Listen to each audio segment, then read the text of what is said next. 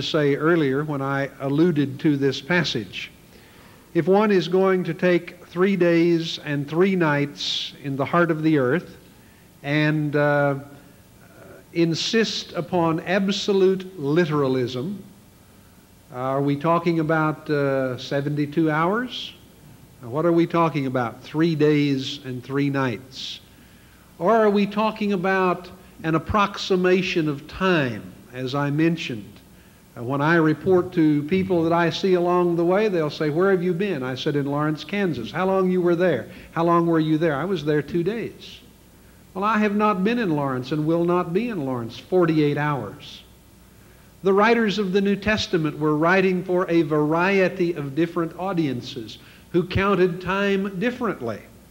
And if you will look at the computation of time with reference to the death of Jesus in John's Gospel, with in comparison to the computation of time with reference to the death of Jesus in the synoptics, Matthew, Mark, and Luke, you will find a difference.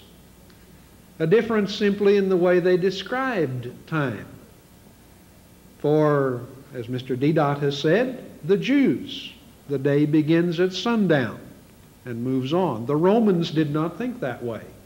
And so you find some writers dealing in Roman time you find other writers dealing in more of what you would think of as Semitic or Hebraic time. And the difference there is a very understandable thing. It's a question of reporting. If any of you who are Americans have been in the military, and I said to you, now, what time is it? You would report it's 2200. And others of you would think, what in the world is he saying? Why, it's 10 o'clock. The same time different descriptions.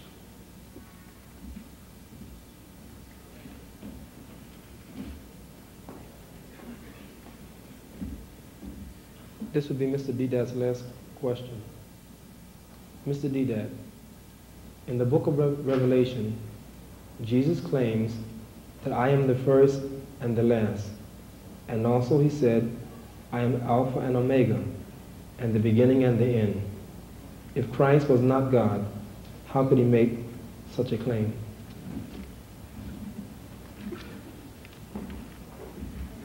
The book of Revelation, scholars will tell you, was a dream of John. It was a dream which he has put down on paper. These are what people hear, if at all, that if Jesus appeared to him, to John, and told him, I am Alpha and Omega, if he did, which I do, do not believe. There's talking about God Almighty that God is saying, I am Alpha and Omega. I am the first and the last, not Jesus. But suppose you put these words into the mouth of Jesus according to your translations. Even then, a dream. You know, a people, when they eat a bit too much, it happens you dream dreams, things that you see. And you read this book of Revelation describing to you certain beasts with eyes outside and eyes inside and you know something which absolutely you have eaten too much you start thinking in those terms.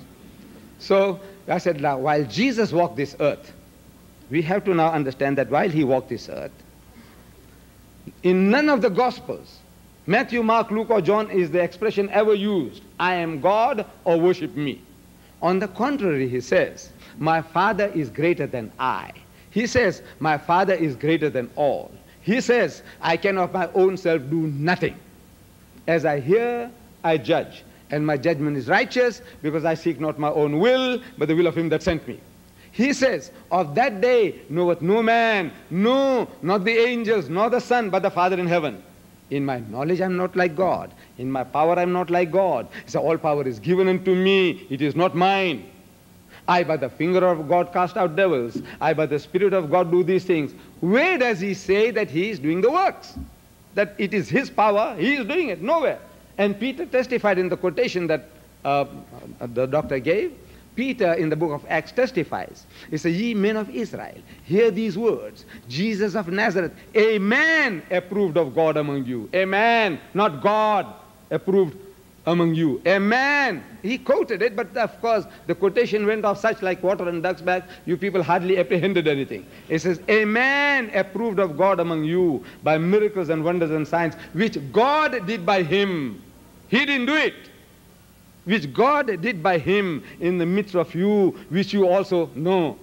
I said, look, we agree with that. The Quran testifies to that effect that he gave life to the dead by God's permission. He healed those blind and the lepers by God's permission. We agree with that. But I said, look, now your interpretation, your reading, you are reading into your own scripture something that is not there and which is contrary to what Jesus claimed. He's teaching us, is come, I'll teach you how to pray. It's a pray like this. So, oh, our Father which art in heaven, our Father, yours and mine, including Judas, not the Father of Jesus Christ in heaven. Hallowed be thy name, singular, thy name, thy will be done, thy, as, as, in, as it is on earth as it is in heaven. Where does he say, I'm God? Where does he say, worship me? Nowhere. Nowhere. It is something now, like I just heard on TV, the program of Brother Jimmy Swaggart. Uh, he's giving some lessons on TV. And at the end of that lesson on Babylon, one of his panel members, he says, you know, I've been to Mongolia. i just been to Mongolia. And there, he said I went to a Buddhist temple. And there, the supervisor, while he was with me, I'm asking him that this wheel, prayer wheel, on which you people are pinning in your prayers in written form, and you turn the wheel, what for? He says, no, this is now, we are asking in this form, asking Buddha for help. But he said, look, I read so many books on Buddha, nowhere does Buddha claim to be God. Nowhere. This is one of our panel members of Jimmy Swaggart says, no one says that Jesus, that Buddha is God. Says, nowhere. He says, yes, that is true, but we say he is God. We make him God. This is the same. What he is talking, laughing at the Buddhists, I said, my brother, you are in the same boat. You are doing the very same thing.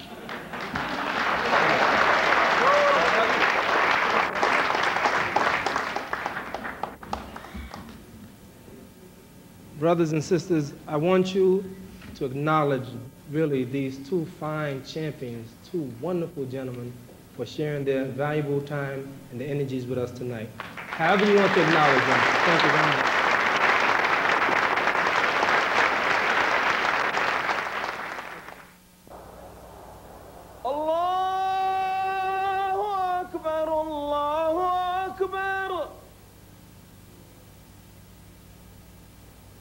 أشهد أن لا إله إلا الله.